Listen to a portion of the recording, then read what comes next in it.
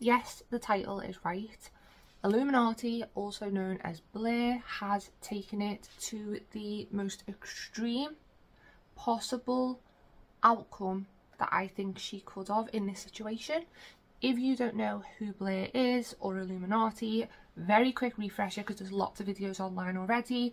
Blair was a anti-MLM, anti, anti-bad business, anti-anything bad video creator. She had kind of gained notoriety as the conscience of the internet, which is why it was such a big surprise when the metaphorical shit hit the fan and she was outed as not only a in my opinion complete and utter narcissist but also a bully a bad friend a bad businesswoman and everything that she stood stood for she basically was outed for being now just to quickly recap she did have a friend who we're going to be talking about today called Oz Media. She also had a friend and colleague who she outed for their mental health problems and actually read out loud on her channel and talked and discussed about this person wanting to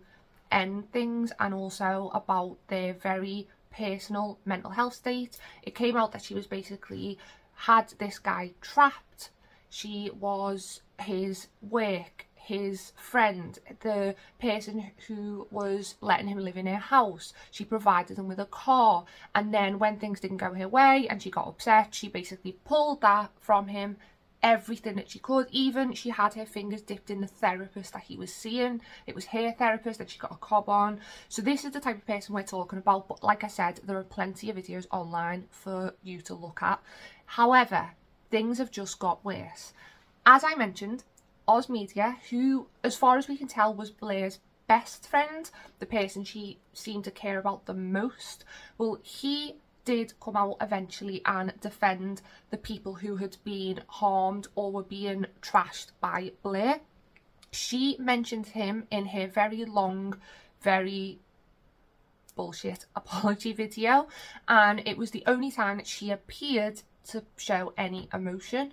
I personally, in my own opinion, believe it was this was done deliberately because as we're going to see, it is very clear that Oz was being emotionally, from what we know, at least emotionally abused by Blair, who is a narcissist and had her fingers around everything that he was doing, basically using them as a puppet, using them as a puppet and relying heavily on the defense of Oz while also manipulating Oz into what she wanted Oz to do, to say, how to act, how to support her. Now recently, on August 23rd, on Twitter or X or wherever you want to call it today, the following tweet was done by Oz Media.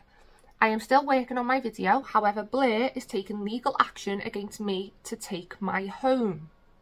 I need help with the legal costs and I will be providing a full and detailed explanation on how I'm even in this position within my video. Put in the link below to avoid throttling. Now, the link was there and I believe it raised about four and a half thousand dollars. However, somebody reported it to take it down. Now, I'm not accusing anybody. My guess would be it was Blair and her if she has any strange followers that she has left. However, obviously we couldn't prove that and that's just my own opinion. But Oz did comment underneath saying good news is that it does seem like the funding collected from the GoFundMe of around 4.1k is collectible despite it being taken down. If this changes I will update. Thank you all for the support that you've given me so far. And Oz had made a comment underneath the original post saying somebody had taken down his GoFundMe page or reported it, received an email stating, Hi, we're writing to tell you that your fundraiser has been suspended and won't be visible on GoFundMe until some edits are made. It is against terms to include any personal identifiable information, inflammatory or accusatory language in your fundraising title, description, image or update. Please remove any PII information inflammatory language or specific accusations from your fundraiser. Again, we've heard very similar accusations of accusations and inflammatory language from Blair herself. Again, I don't know, but I'm just saying it's kind of a coincidence. Now, what this tells us and what this shows us is, like many people have stated and assumed from everything that's come out, that Blair is not only a person that's made mistakes, she is a very cruel, very vindictive person who is using what she what resemblance of power she feels that she still has to destroy anybody who speaks about her and I don't know how she thinks that this is going to help. She's unravelled the worst that I think I've ever seen anyone unravel.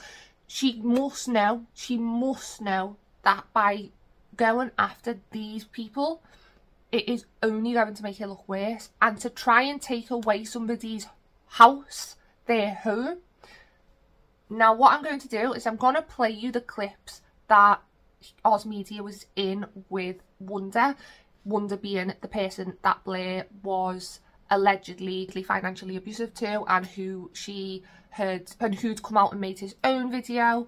But I am going to show those clips now. It's the only clip so far that Oz Media has done online. The only information that he has said. So this is the information that Blair will be conducting her lawsuit on for derogatory, defamatory information, whatever she is suing him for. So I'm going to play this first and we can talk about whether or not we believe that she has a leg to stand on. That I did not assist with a mess located in the lower level of your home as well as a staircase leading to said lower level of the home. What was your experience with the situation as the owner of this home? Like no shade to you and like, you know, of course, but like, like no one like recounts the situation properly because you weren't sleeping. I'm surprised that you even made that mention. You were actually like very well awake and already cleaning the mess up when we had actually got upstairs. Um, what had happened happened was woke up that morning, came out from the basement, and there was like, you know, a trail of dog mess is the best way to put it, kind of like just leading all over the downstairs. It went up and down the stairs. And, you know, Blair and I, of course, we weren't happy to see that initially, but when we had gone upstairs, you were already cleaning up the mess. Blair had to leave the house, and that left you and I with cleaning it because you and I, we were actively cleaning it up. We were both taking turns using the pet vacuum. I was covering the downstairs, and you were covering the upstairs. It's not like you just slept through it either. Um, you were actively cleaning. My proof that once more, I never set foot in that room, nor did I have malicious intent when I lived there. Blair embarrassed Oz, not me. In the video, I touch on an image I shared to Twitter involving the living conditions of your home while Blair was an active tenant. She claims these conditions were due to her being in the process of a move and that I took these images with intent to embarrass the both of you. Would you be, in your own words, willing to shed light on these claims? Uh, this is tricky to talk about just because like that was like the condition of living with Blair. Like that that's always how it has been. No matter how many times cleaning was attempted, it always ended up becoming that level of mess. There, there was no cleaning in that house. It was always a disaster. No matter how many times attempts were made, it would take less than a week or two for things to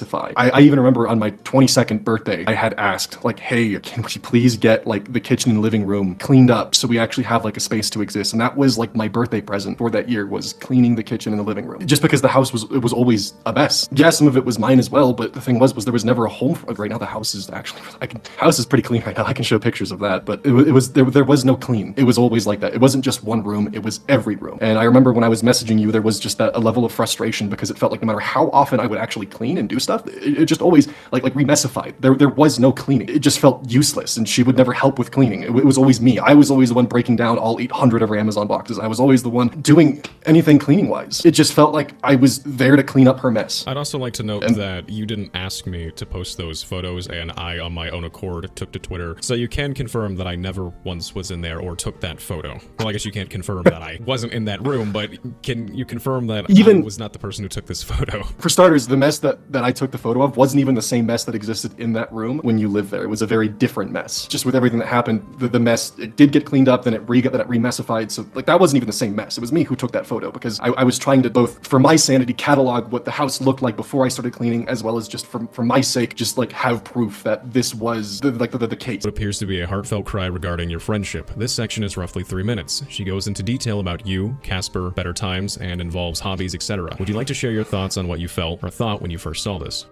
There's not really like a nice way that I can actually say this. I've like watched her build those tears up on multiple occasions, whether it's she forgot she had a prior engagement, so she built up tears and said, I have to take Casper to the vet and I'm very scared, so I won't be able to make it, or for talking to other um, like content creators that she's had issues with of welling up those tears for like apologies, for talking with employees, for talking with uh, me or her roommates. It's something that I have watched her do on numerous occasions. If they were genuine, I mean, there's that, but I have a really hard time believing it with how many times I've actually seen her build those tears up. And considering when I did post my thread on Twitter and I did make the comments that I made, the tone that she had like in, in messages was night and day. What, what I'm trying to say is that, that, that the, the the tone that she had in the end of her video was not the tone that she had with me behind the scenes. The tone that she had with me behind the scenes was very much accusing. A few vague threats were thrown in there, which I don't want to go into details on because I, I just, for me personally, with how I see all of this, I don't want to make a response video. This might hopefully be where my response is, is within the confines of your response, just because I would like to keep this. I don't want to drag out Blair and I's personal life, is the best way of putting it. I, I would rather try to keep that as like private as I possibly can because there's a lot of things I don't think any of. Now, as you can see from those clips,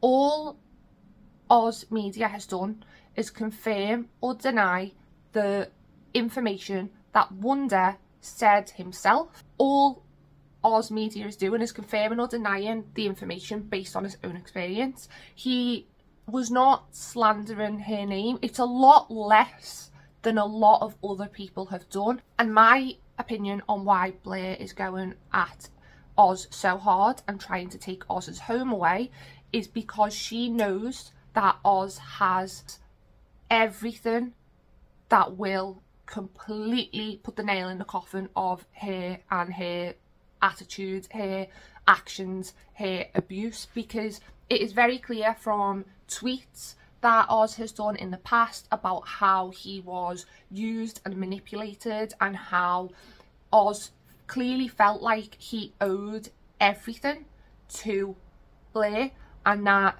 Oz didn't really wasn't able to be friends with people wasn't able to have thoughts and, and actions without being punished by Blair whether that was financially mentally emotionally.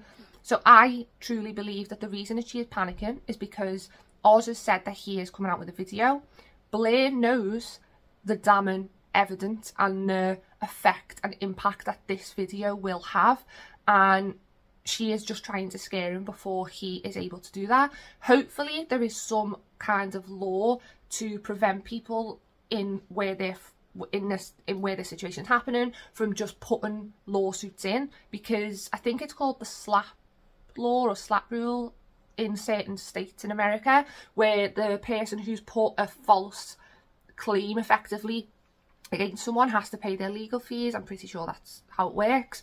But in my opinion, it truly is just because Blair is a narcissist. She has lost control. And when narcissists lose control, just the same as abusive partners, they explode. All ability to think logically out the window. They are trying to fight to keep their control. And when they've lost it, they don't know what to do. And I think that's why we've often seen or didn't see but now know the outbursts of making fake accounts to slander her colleagues and friends' names, getting other people to threaten their friends and colleagues' names, going after people who she deemed as a threat, the way we've seen with certain YouTubers, and also losing control of Oz Media, I think is the is the final straw I don't think she can cope. This is truly why I believe that she cried when she spoke about Oz in that apology video. She slandered everybody else, but she spoke directly to Oz. She said, I am speaking directly to you. And she cried and she talked about wanting to save their friendship, hoping that they could rectify things. She wasn't crying for Oz. She was crying because she knew that once she lost that control once she fully lost him to the truth and to true friends, she would never get that back and things would start to come out.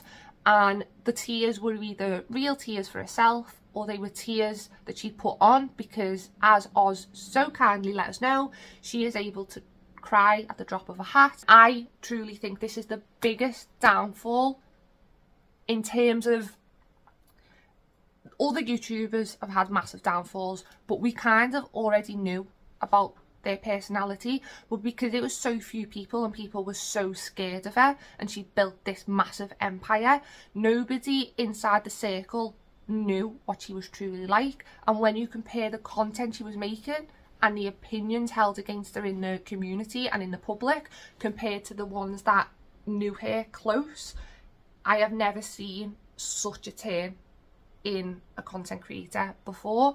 If you've got a different opinion, please let me know. I will keep you updated on the situation. Obviously, if Oz brings a video out, then I will go through it. I will discuss it with you guys. If there is an update on his GoFundMe, I will put the link back in the description. But at the minute, it is gone. You can't donate to it. It's not even existing. If you've got any other video ideas, please do let me know. Share your opinions down below. I also do mental health and taboo topics, so I would love for you to subscribe, like the video, and that is everything for now. So I hope that wherever that you are, you have a lovely morning, day or night, and I will see you again next time. Bye!